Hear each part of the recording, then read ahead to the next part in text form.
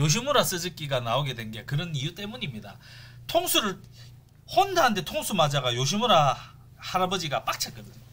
어 중간에 요시무라가 그 요시무라 아저씨 요 저거에 나오는데 아 이거다.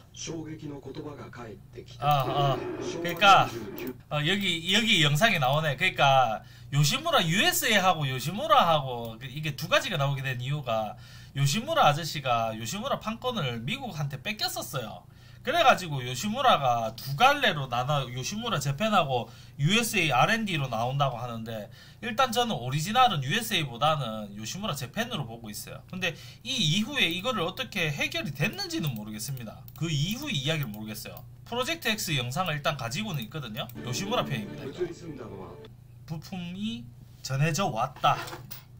부품이 왔다도 맞는데 이거는 조금 저거 했네. 원래 원어 번역은 전해져 왔다 뭐 이렇게 봐야겠는데. 増え뭐 아무튼간에 요시무라가 그래가지고 USA하고 일반 저거하고 나뉘어졌던 걸로 압니다. 아 그렇죠. 그러니까 일단은 제일 처음에는 일본에서 요시무라를 했고 요시무라가 이제 그 미국 쪽에도 그러니까 미군들 대상으로 요시무라 아저씨가 영업을 하다 보니까 그 고국으로 돌아간 미군들한테 뭐 그런 것 때문에 일본에서 요시무라 인지도 하고 이런 것들이 많이 알려지게 됐대. 그래가지고 일본에서 만든 요시무라 부품들을 미국에 이제 그 요시무라 이제 저거 뭐냐 그 판권을 가지고 있는 아저씨가 판권이 아니지 여기 보면 요시무라 해외에서 팔고 있는 아저씨가 요시무라 판권을 뺏은 일화가 있죠. 그게 뺏겼죠. 극하고 있다가 의의 해가지고 미국으로 건너갔다가 손가락 쫄쫄쫄 빨다가 다 뺏기고 다시 이제 터덜터덜 일본에서 요시무라를 접고 미국으로 건너갔다가 그 일이 있고 나서 이제 다시 되돌아왔죠. 그러고 다시 요시무라를 일으켜가 요시무라 아저씨가 하, 막 아이고 막 하고 있는데 또 그 하필 또 공방이 불이 나고 뭐뭐 해가 의하다가 이 아저씨가 지금 뭐냐 올라왔던 게 그 GSX 아니지 GS1000 시리즈다. GS1000 요시무라 GS1000 요시무라 GS1000 스즈키 GS1000이 있거든요. 그때 요시무라 아저씨의 눈을 번뜩이게 이제 하게 해준 모델이 GS1000인데 스즈키 관계자가 찾아와가지고 우리 이걸로 머신 하나 만듭시다 했답니다. 그래가 아저씨가 눈에 불을 키우면서 재기를 하게 된 게 GS1000 때문에 이제 다시 요시무라가 일어설 수 있었다. 뭐 이런 이야기가 있어요. 일단은 만듦새를 보면은 일단은 이게 정품 가품 차이 나요. 카본 같은 경우에 확실히 차이가 나고 카본 말고 알루미늄이나 이제 스테인레스 뭐 이런 류 같은 경우에는 정품하고 가품하고는 디테일적으로 차이가 납니다. 이게 더 정교하게 만들어졌는 그러니까 딱 보면 싼 티 나요. 싼 티 안 나면은 정품입니다. 그렇지 요시무라 아저씨가 이게 있었죠. 처음에 일단은 그 오토바이 개조해주는 업으로 시작을 했어요. 미군들 대상으로 해가 미군 안에서 주말마다 오토바이 경주 대회가 열리는데 어, 이제 미군들 중에서 몇 명이 요시무라 아저씨의 솜씨를 알고 찾아와가지고 오토바이 개조를 의뢰를 합니다. 그래서 승수승장구 뭐 이래 알려지고 뭐 자체 경기도 참가하고 이러다가 혼다 할배가 어 그래 해가지고 오토바이 튜닝을 혼다에서도 맡기게 돼요. 근데 그렇게 하다가 혼다가 요시무라 아저씨 뒤통수를 그하게 한 방 때리지 왜 HRC를 만들거든. HRC 혼다 레이싱 컴퍼니인가 뭐 그거잖아요. 그거 있기 전까지는 요시무라 아저씨가 혼다 하면 충성 충성 하면서 해달라 하는 거길 빡빡하게 주는 거 이런 거 열가성을 다해가 다 맞춰줬단 말이야. 근데 어느샌가 혼다 할배가 어 이거 안 되겠다. 우리도 고마 이런 거 자체적으로 하나 만들자 해가지고 HRC가 들어오면서 뒤통수 거나하게 맞은 요시무라 아저씨는 안 되겠다. 내가 어떻게든 내가 혼다는 무조건 밟고 일어서야겠다. 혼다가 나를 밟았으니까 개 같은 것들 이래 돼 가지고 뭐 이래래 하다가 이제 스즈키 오토바이도 만지면서 뭐 그래 됐대요. 그게 결국은 요시무라 아저씨는 쓰빠다. 아, 어, 그렇게 귀결됩니다. 왜 요시무라가 지금까지 factory 팀 있잖아요. 요시무라 스즈키 팀 빨간 거 있잖아. 요시무라 스즈키. 그게 있냐면은 그때 그 응어리 졌는 게 아직 남아 있는지 모르겠어요. 요시무라 스즈키 팀 그죠? 빨간 거. 어, 이 빨간 R천 요시 이거는 네구레이스 사양인데 요시무라 스즈키가 나오게 된 게 그런 이유 때문입니다. 통수를 혼다한테 통수 맞아가 요시무라 할아버지가 빡쳤거든요.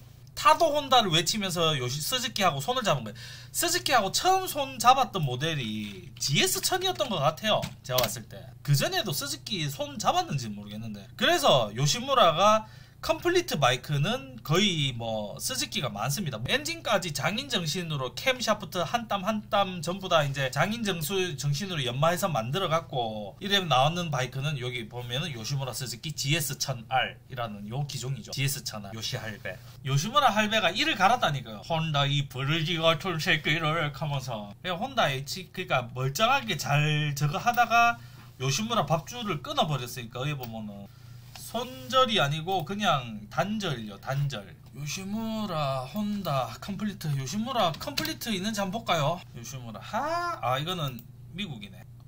오 road race engine service. 야 이런 것도 있어? 엔진 띠가지고 일본에 택배 보내주면은 요시무라 아저씨가 장인 정신으로 엔진 한 땀 한 땀 튜닝을 해서 보내줄란가?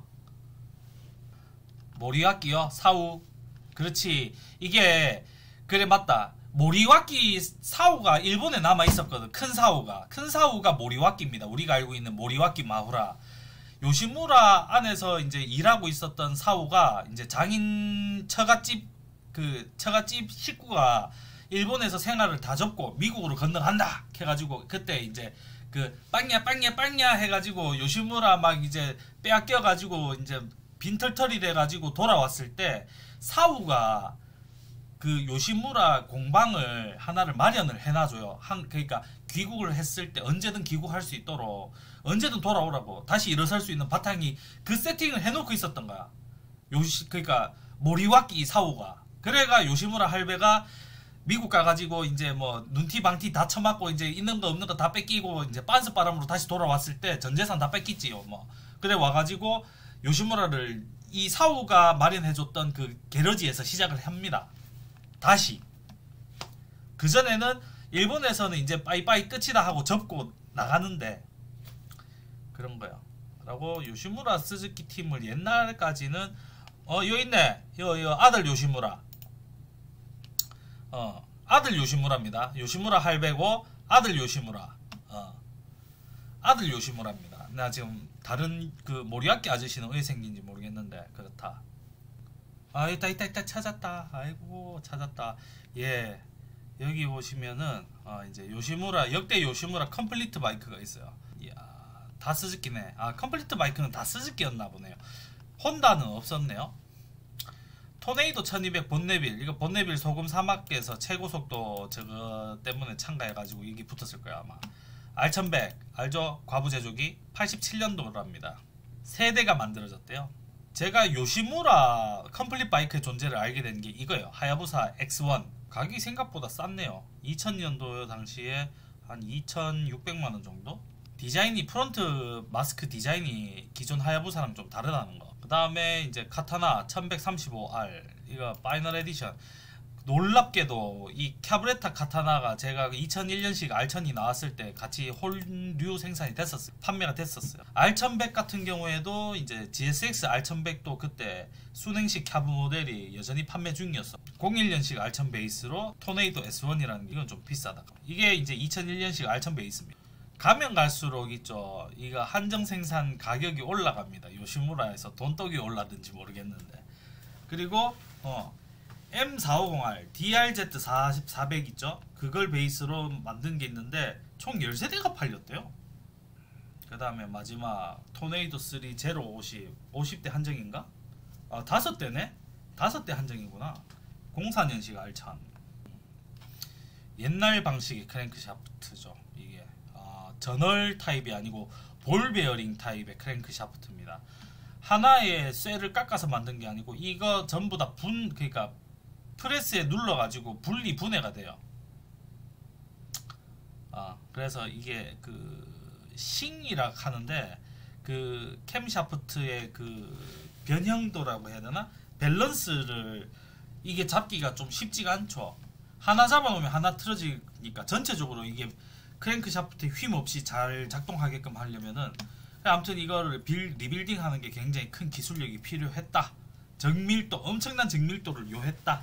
를 생각하시면 됩니다. 이 크랭크 재생하고 만질 줄 아는 곳은 거의 뭐 오토바이 한 대 만들 수 있는 능력이 있는 곳에 필적한다라고 생각을 해요. 이건 뭐